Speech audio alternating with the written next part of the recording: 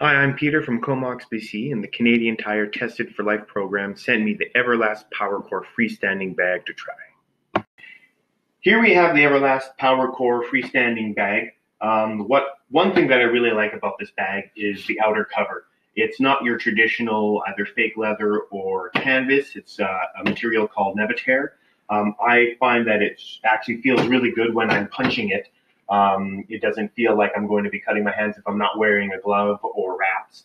Um, the other great thing that I like about this is that it's adjustable. Um, it goes anywhere down from 54 to 65 inches, um, especially if you want to practice doing some high kicks, um, or if you're of a shorter stature and you need to kind of get a little bit lower. It's really good. It's really good for that.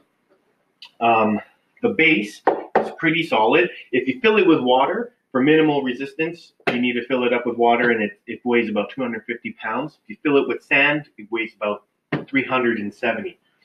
Um, I don't think that this can actually necessarily replace your traditional heavy bag, but the great thing is that you can move it around. It's portable. You can work away 360 if you can't hang a traditional bag from the ceiling. Really good for for uh, for um, speed punching um, if you want to and wanting to practice your combos. I would highly recommend it. Um, I think that you can get a great 20 minute cardio workout with this, kind of work on some of your boxing. Um, really, it was really stable. Um, I tried the previous model of this one as well, and the one big thing that I noticed is when you were doing high kicks with the with the older one, is that the top would pop off and it would bounce up and down, and it wouldn't be really steady. This one, not so much. I gave it a few good kicks, um, and it was great. This it, it comes right back. Um, so there you have it. That's the Everlast Power Core freestanding bag. I would recommend the Everlast Power Core freestanding bag to family and friends. Uh, it was a good 20 minute workout. Uh, from their recommendations, you can burn up about 281 calories.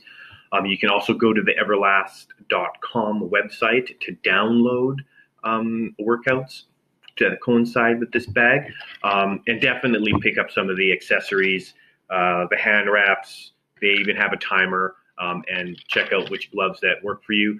Um, I did try it without, um, and it was fine. It was it was gentle on my hands, but I would recommending picking up those products as well, and also picking up a skipping rope. If you can skip in between sets, it would be really good. Um, but yeah, that, so that's the Everlast PowerCore freestanding bag go check it out. And uh, thanks for watching the video.